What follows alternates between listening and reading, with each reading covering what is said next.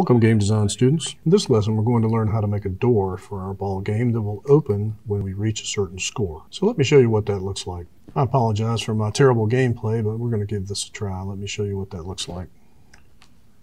Alright. So I have a teleport platform that takes me up to this ramp and when I go down to the door I have here you can see that it won't open and it gives me a little message that says that I need to get um, that I need to get more points before I can open the door. So I'm going to go get more points. Try not to hit the platform.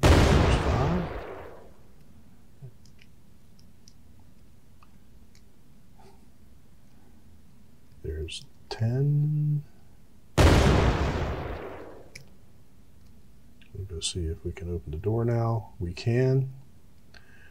And the door stays open since I have enough points.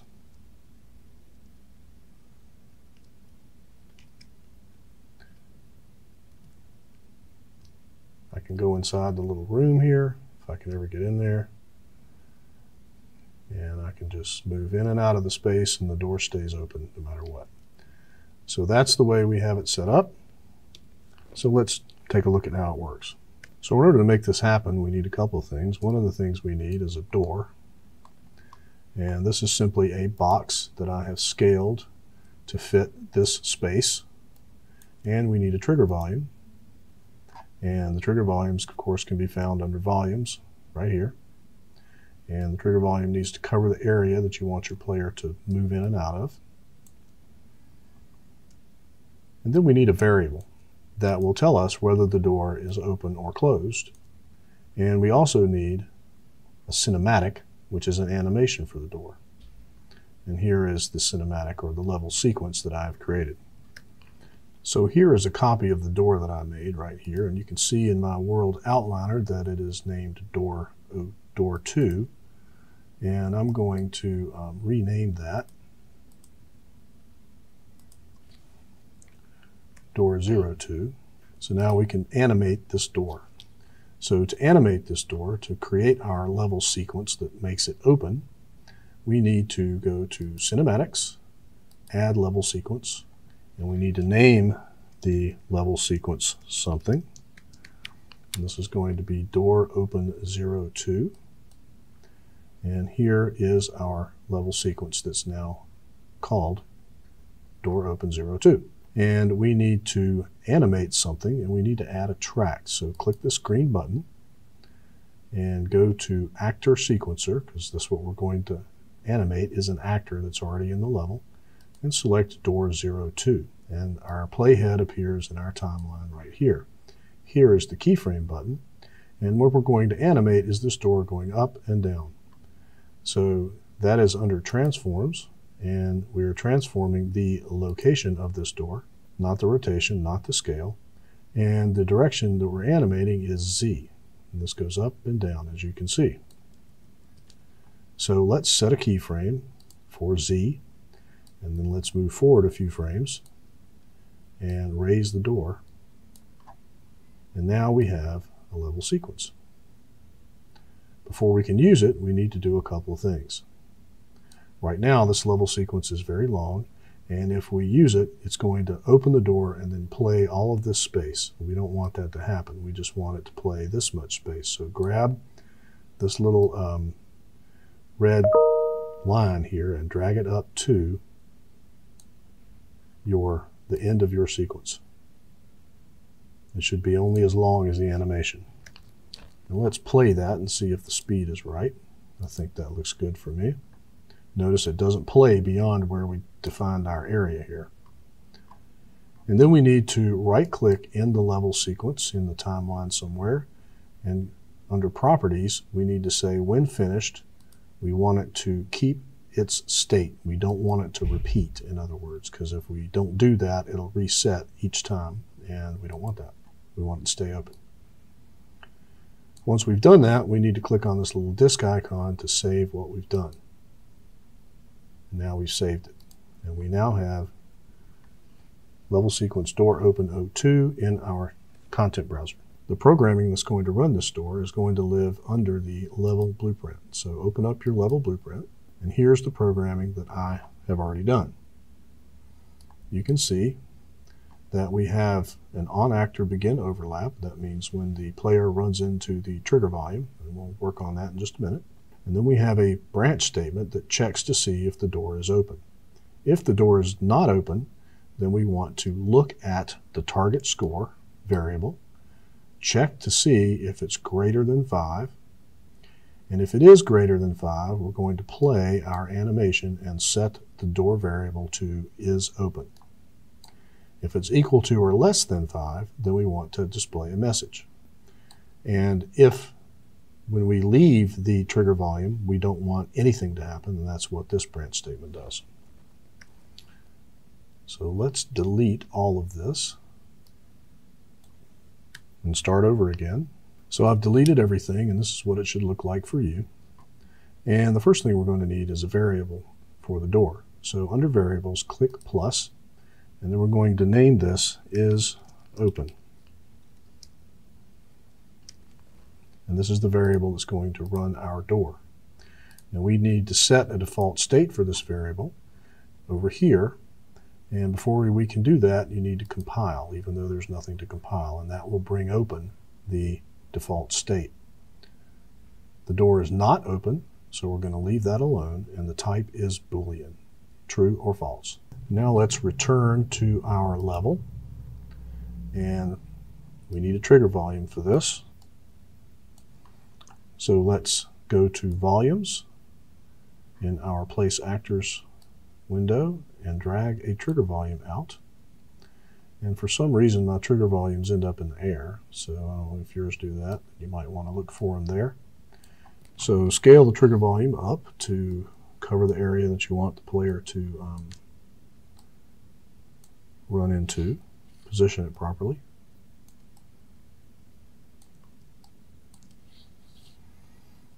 And then with that trigger volume selected, go back to the level blueprint, right click, and select Add Event for Trigger Volume 2. And the event we're going to add is a collision, and it's going to be an on actor begin overlap. And then go ahead and do the same thing for an on actor end overlap. So you should have these two things in your blueprint at this point in time. And so the first thing we're going to do is check to see if the door is open. So drag the door open variable out into the slate and get it. And go ahead and copy it with Control C, Control V and put it down here because we're going to do this here too.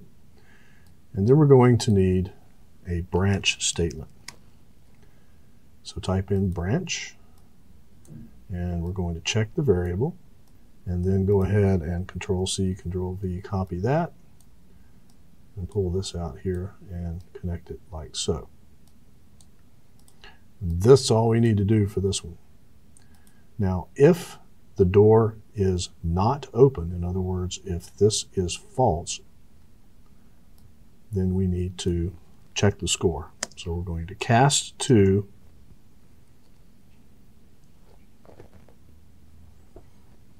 the rolling game mode.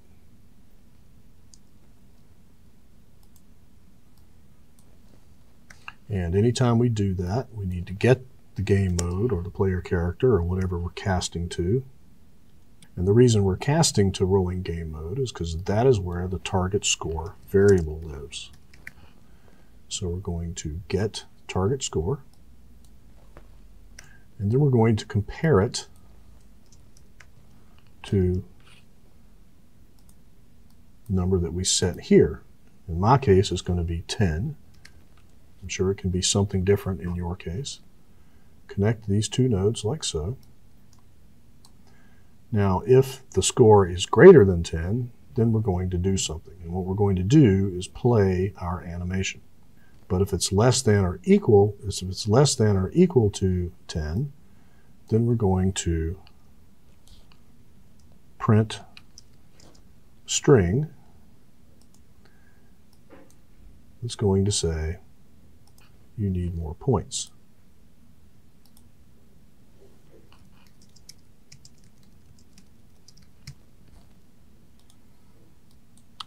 And we need to also do that if it's less than 10. Now, if it's more than 10, actually I have 100 written there. If it's more than 10, then we need to play our door open animation. And to do that, we need a reference to that in our blueprint, and we don't have one. So to get that, we're going to undock this window here, and then we're going to make this window smaller so I can see both of them.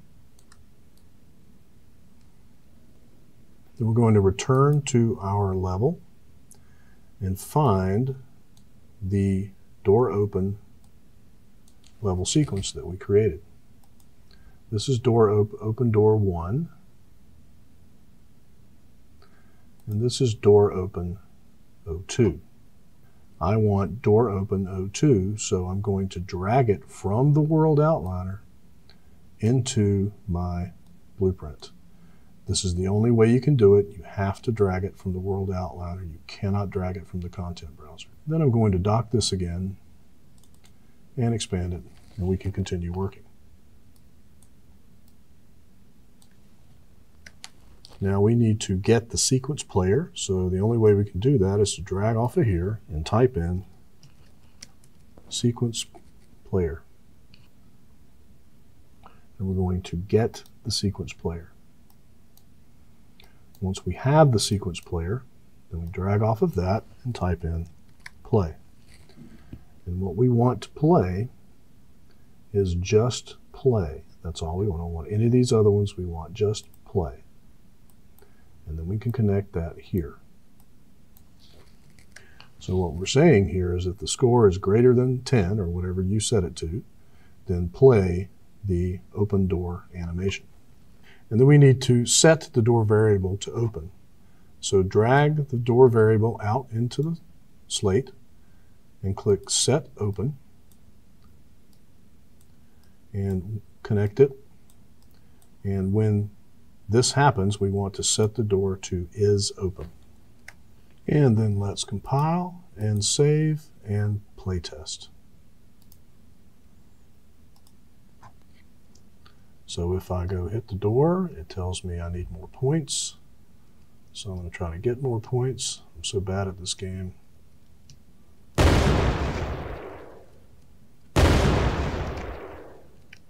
Don't want to hit that thing and still says I need more points and the door does not open. Why is that? Well, let's look at the code. I am setting the door to open and I'm comparing, but what I'm comparing with here is 10. So if the score is equal to or less than 10, it's going to, the door is not going to open. So I need to change that to 5. I think I did that last time I did this. Compile and save and play.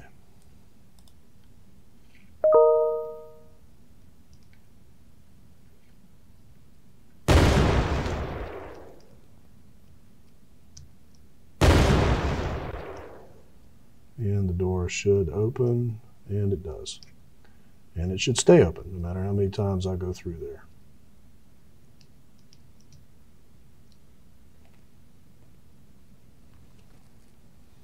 And that's how you make an opening door based on the score for our rolling ball game. And I'll see you in the next video.